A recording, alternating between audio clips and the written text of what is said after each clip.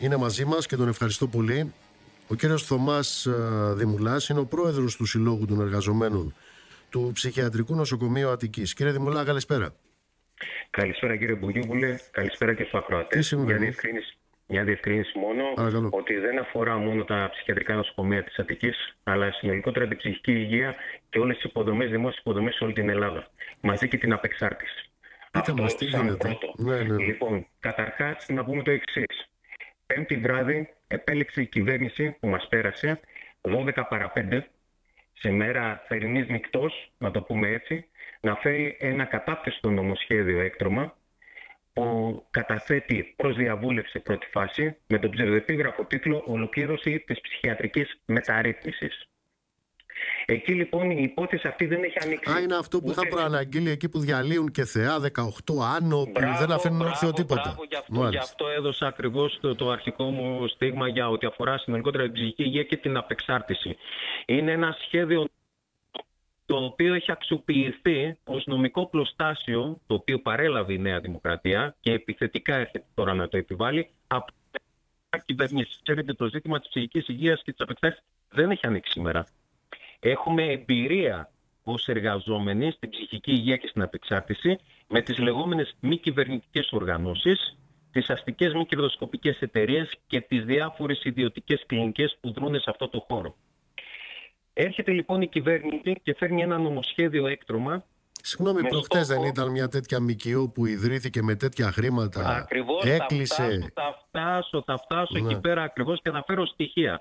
Έφερε λοιπόν η κυβέρνηση ένα σχέδιο νόμου εντάσσοντας ένα πλαίσιο, δύο πλαίσια μάλλον, όσον αφορά την ψυχική υγεία, ιδρύει το Εθνικό Δίκτυο Υπηρεσιών Ψυχικής Υγείας, όπου εντάσσει εκεί μέσα ό,τι εναπομείναντες υποδομές δημόσιων ψυχιατρίων που αφορά κύρια το Ψυχιατρικό Νοσοκομείο Αττικής Δαφνή και το Ψυχιατρικό Νοσοκομείο Θεσσαλονίκης μέχρι σήμερα που μιλάμε, αυτά τα δύο τα καταργεί, ε, το εντάσσει μαζί με τις υποδομές τους τις μονάδες ψυχοκοινωνικής αποκατάστασης, τα κέντρα ψυχικής υγείας και ό,τι άλλες υποδομές έχει μέσα σε αυτό το εθνικό δίκτυο και τις αντίστοιχες διαρθρωμένες περιφέρειες, ενώ τις υγειονομικές περιφέρειες, ανάλογα πού βρίσκεται το κάθε νοσοκομείο, προκειμένου μαζί με τις μη κυβερνητικές οργανώσεις, τις αστικές μη κερδοσκοπικές εταιρείες και τους ιδιώτες να μπουν στο, στο λεγόμενο και αυτή παιχνίδι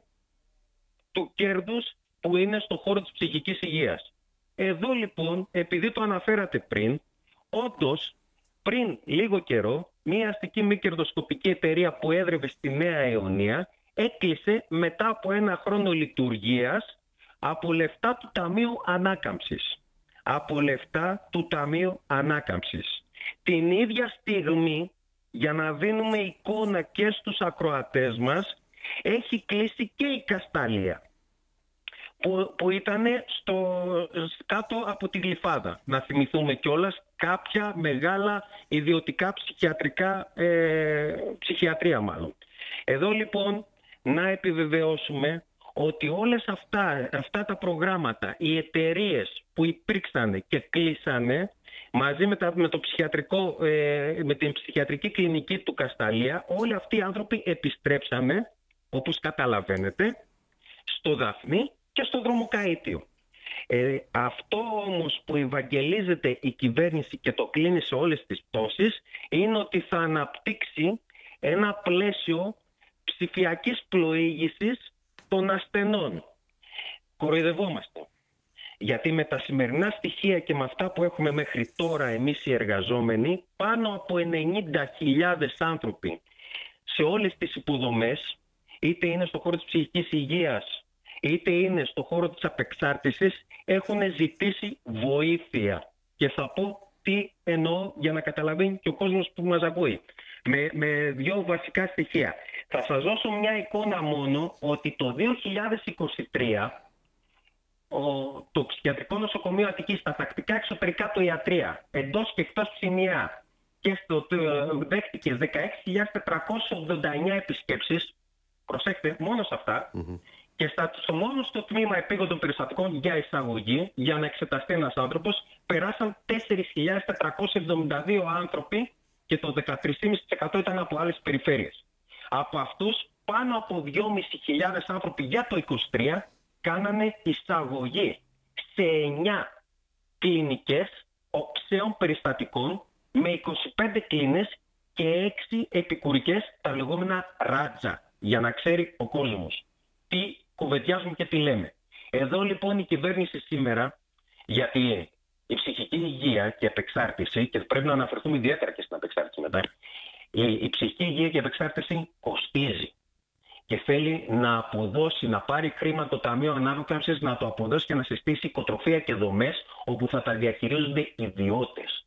Αντίστοιχα και στην απεξάρτηση που φτιάχνει ένα νομικό πρόσωπο ιδιωτικού δικαίου, έτσι ακριβώς όπως το λέω, το λεγόμενο Οργανισμό Πρόληψης και Αντιμετώπισης Εξαρτήσεων, όπου το 18 άνω, προσέξτε τι λέω, για να ξέρει ο κόσμος που ακούει, το ΚΕΦΕΑ, το αργό, το διάπλους, ο Ιανός και τα κέντρα πρόληψης τα οποία δεν αναφέρονται καν, καν μέσα στο σχέδιο νόμου, όλα αυτά καταργούνται μέσα σε μια νύχτα.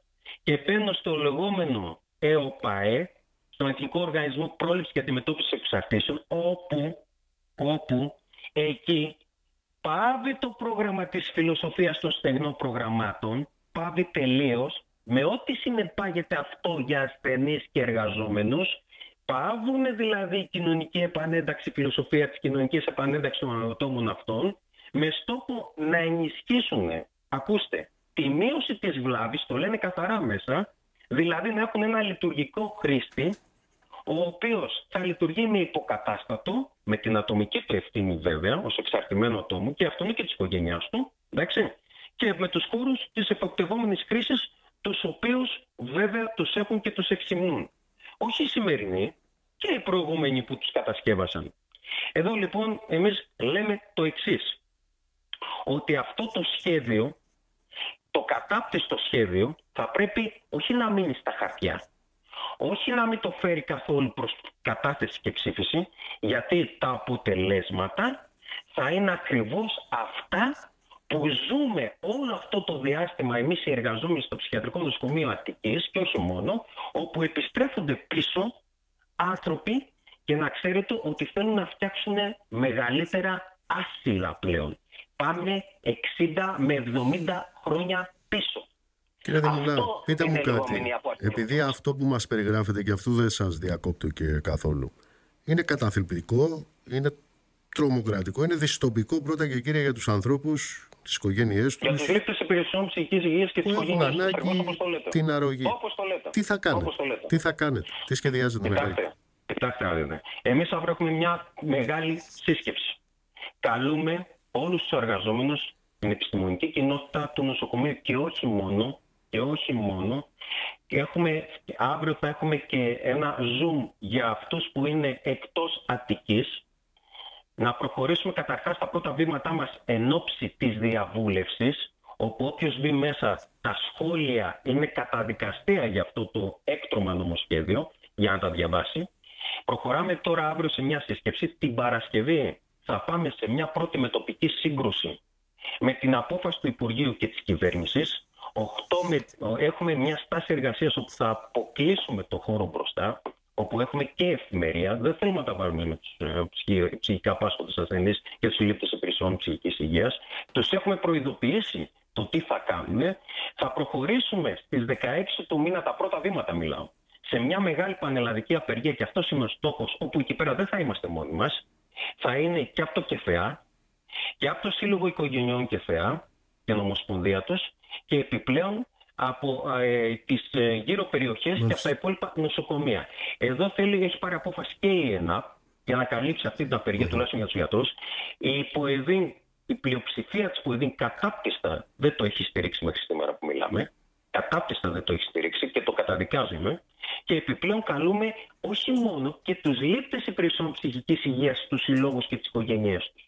Να προσθέσω κάτι άλλο, επιτρέψτε μου κύριε Μπογιόπουλο για μισό ε, λεπτό ακριβώς. Παρακαλώ. Να ξέρετε ότι ε, το νοσοκομείο μας μέσα από αυτά τα λεγόμενα προγράμματα είχε, είχε μέσω του πρόγραμμα ε, από ΕΣΠΑ λειτουργούσε κατοίκον νοσηλεία το οποίο το διέκοψε 3.500 αιτήσει οφειλούμενων βρίσκονται στον αέρα και θα εξηγήσω γιατί Επιπλέον, βρίσκονται στην αέρα 400 άνθρωποι που τους επισκέπτονταν από, το κέντρο ψυχικής, από τα δύο κέντρα ψυχικής υγείας περιστερίου και μεταμόρφωσης, γιατί απολύθηκαν έξι εργαζόμενοι. Ανάμεσα τους δύο γιατροί, δύο επισκέπτες υγείας και δύο ε, κοινωνικοί λειτουργοί. Την ίδια στιγμή, άλλοι έξι συνάδελφοί μας μέσω του προγράμματος Φίλος από τον ΕΟΔΗ, το λεγόμενο σχέδιο που ήταν από τη μεταναστευτική πολιτική και τους προωθούσε εμά, άλλοι έξι εργαζόμενοι, τρεις ψυχολόγοι, ένας κοινωνικός λειτουργός και δύο διερμηνείς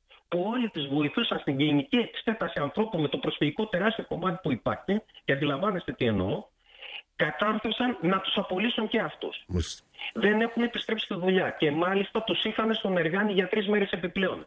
Απαράδεκτα υπηρεσία. Όταν σε όλες τις τόσες έκλεινε ότι θα επιστρέψουμε, μην αγχώνεστε, δεν υπάρχει ζήτημα απόλυσης. Λοιπόν, αυτό Αντιλαμβάνεστε που... ότι θα διαλύουν όλα. Αυτό που μπορώ να πω εγώ, κύριε Δημουλάνη, θα είμαστε σε επικοινωνία.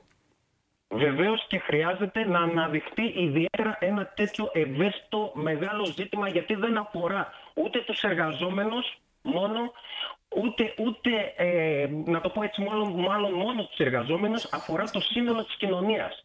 Η κατάθλιψη είναι η δεύτερη παγκόσμια ασθένεια. Αντιλαμβάνεστε γιατί μιλάμε. Θέλω να ευχαριστήσω θερμά. Θα είμαστε επικοινωνία. Να είστε καλά. Ευχαριστώ πολύ.